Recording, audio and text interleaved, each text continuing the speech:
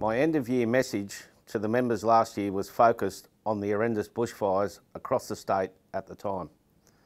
The onset of the COVID pandemic that followed those bushfires and floods has been an absolute punish on top of normal operations. I'm sure I speak for many of us when I say that just reaching the end of 2020 feels like an achievement in itself.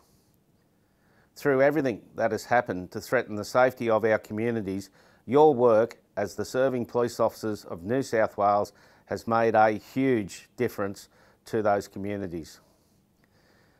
As shown in the police news, the common factor making that huge difference has been your courage. When COVID struck us, your association was there and has remained alongside you, the members, every step of the way.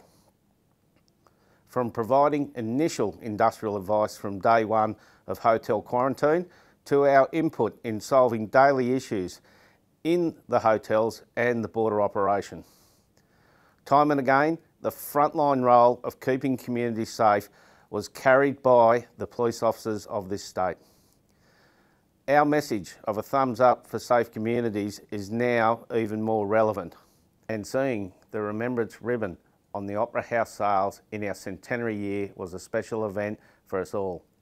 Every police officer in New South Wales, from the bush to the city, should be holding their heads high. Depending on each other and having each other's backs is what we do. Our strength depends on our unity and our unity depends on our strength. As we head into 2021, I believe we can learn and take strength from the unity shown in facing each and every challenge that has been thrown at us over the last 12 months. I wish you, your families, your friends and loved ones all the best for a safe and Merry Christmas and a Happy New Year.